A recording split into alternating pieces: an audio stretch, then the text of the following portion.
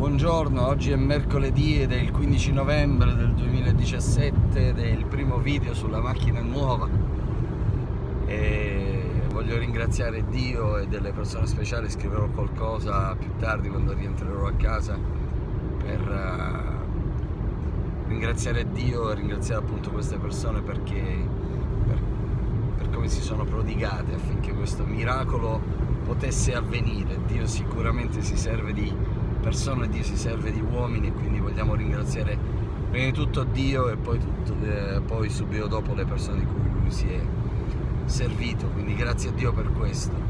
Vorrei parlarvi di un argomento che mi sta molto a cuore che è naturalmente il regno di Dio ed è qualcosa, qualcosa su cui lo Spirito Santo in quest'ultimo periodo sta parlando al mio cuore e voglio condividere con voi brevemente per quanto riguarda la figura di Gesù nel regno di Dio, la sua funzione nel regno di Dio e come noi dobbiamo interagire con la persona eh, di Gesù nel regno di Dio.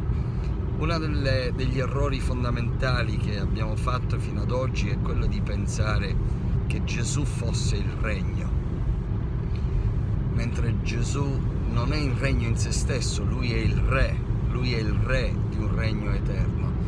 E in alcune parabole, in Matteo 13, abbiamo già parlato di questo argomento, Gesù parla del regno di Dio come di un tesoro nascosto o di una perla di gran valore. E abbiamo sempre ricevuto insegnamenti che Gesù è il tesoro nascosto, che Gesù è la perla di gran valore. Gesù quando parlava di questo non parlava di se stesso, Gesù parlava del regno il regno di Dio è come un tesoro nascosto, il regno di Dio è come una perla di gran valore. Gesù eh, parla di se stesso e in Giovanni 10 lui fa un'affermazione molto importante, lui dice io sono la porta, io sono la porta delle pecore. E uno degli errori più grandi che valutavo qualche giorno fa il fatto che noi abbiamo considerato che Gesù fosse la porta per andare in cielo e che quindi noi abbiamo pensato che quella porta si aprisse davanti a noi nel momento in cui noi moriamo. Noi moriamo, Gesù è la porta e noi passiamo attraverso la porta per andare in cielo, per andare in paradiso. In realtà nel Vangelo viene espresso un altro concetto totalmente diverso. Gesù è la porta per accedere al regno. E l'errore fondamentale più grande che abbiamo fatto è che siamo stati davanti alla porta, abbiamo adorato la porta, ma non siamo entrati. Abbiamo adorato la porta aspettando che quella porta si aprisse dopo la nostra morte, ma come abbiamo detto spesso, il regno di Dio non è un assegno postdatato, non è un assegno dove c'è la data della tua morte, noi non avremo bisogno del regno di Dio quando moriremo, perché noi abbiamo bisogno del regno di Dio, cioè della sua manifestazione qui ed ora, mentre siamo vivi su questa terra, questo è il motivo per il quale Gesù ci ha detto quando pregate, pregate così, venga il tuo regno o il tuo regno si manifesti e sia fatta affinché sia fatta la tua volontà qui sulla terra, qui ed ora, come è fatta nel cielo. Il nostro modello è il cielo, quindi Gesù sta dicendo non hai bisogno di andare in cielo per vedere la volontà del, di Dio, la volontà del Padre. E tutto ciò che il regno rappresenta per... Eh, non hai bisogno di morire per vederlo adempiuto, ma Gesù ha detto se tu hai fede crede il regno di Dio si può manifestare qui ed ora, questa è la volontà di Dio. E l'incoraggiamento appunto di questo video è Gesù è la porta, Gesù è la porta, Gesù è il nostro accesso al Padre. Vi ricordate Gesù quando dice io sono la via, la verità e la vita, nessuno viene al Padre se non per mezzo di me? E abbiamo sempre creduto che quello fosse un messaggio che ci parlasse di salvezza, cioè che ci parlasse, in realtà parla della salvezza, ma non come viene intesa a livello religioso, cioè non l'accesso al Padre dopo la morte. Infatti la figura dominante nel regno di Dio, come Gesù la insegna, come Gesù la spiega, è la figura del Padre. Vi ricordate in Matteo 6, 30, quando Gesù dice perché siete in ansietà riguardo al vestire, al mangiare, al bere, al vestire?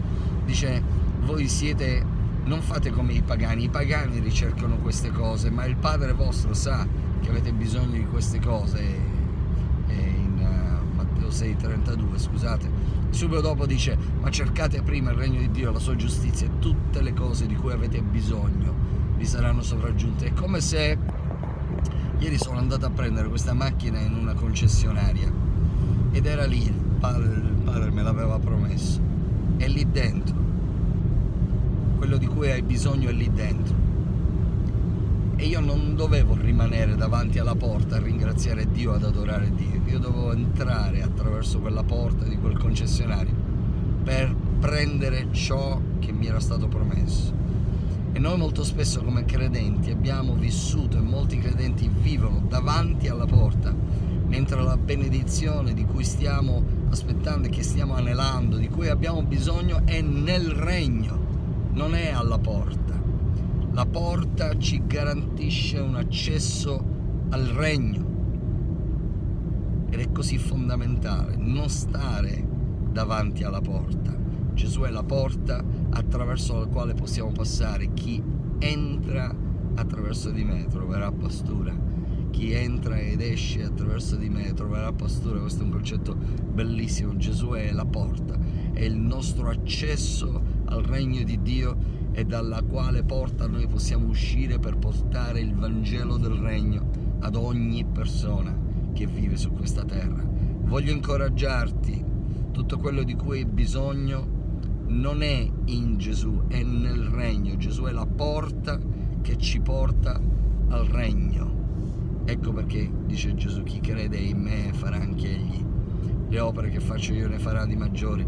Gesù è la porta attraverso il quale dobbiamo entrare nel regno per godere di tutti i benefici di questo regno. Perché? Perché siamo stati creati per regnare, siamo stati creati per non avere mancanze, siamo stati creati per non avere ansia, siamo stati creati per rappresentare Dio su questa terra. Quindi voglio incoraggiarti a non stare davanti alla porta ad adorare, entra attraverso la porta perché la porta esiste per essere aperta e per essere attraversata. Ti voglio, voglio benedire questa vostra giornata e dichiarare che in questo giorno la benedizione e i benefici del regno Dice la Bibbia, siamo stati benedetti con ogni benedizione spirituale celeste in Cristo Gesù. Ed è lì, nel regno, attraverso Cristo abbiamo accesso a tutto quello di cui abbiamo bisogno per vivere una vita degna di essere vissuta, degna di questo nome.